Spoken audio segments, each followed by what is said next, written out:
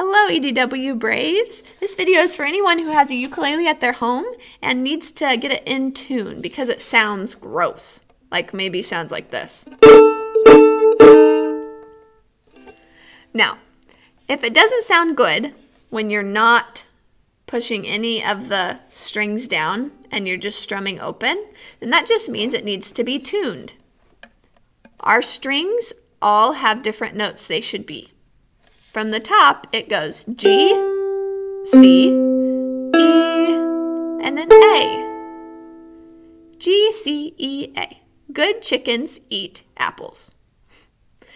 Now, if your ukulele does not sound like mine right now, it's probably because either the weather changed the strings, sometimes they make the weather makes them tighter or looser, or when you got it, maybe it wasn't in tune. It's really easy for strings to get out of tune or to get loose or too tight. So we have to tune pretty often.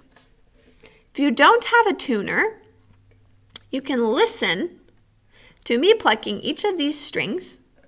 And then if your string sounds too low, you're going to tighten your string until it sounds like mine.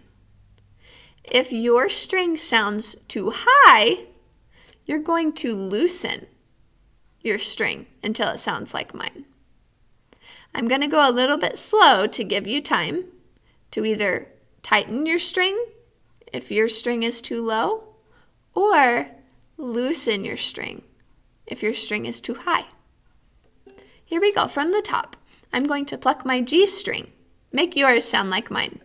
The tuning peg should be the first one closest to the string.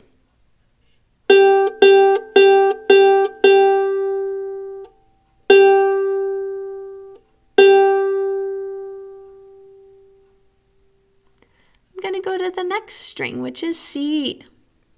If you need to adjust, you're turning this tuning peg.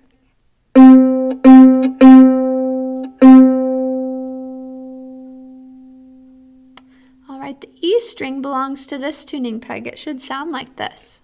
And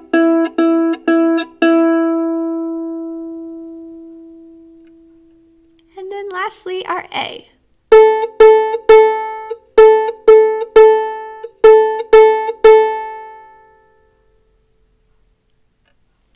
All right, friends, there you have it. G, C, E, A. Good.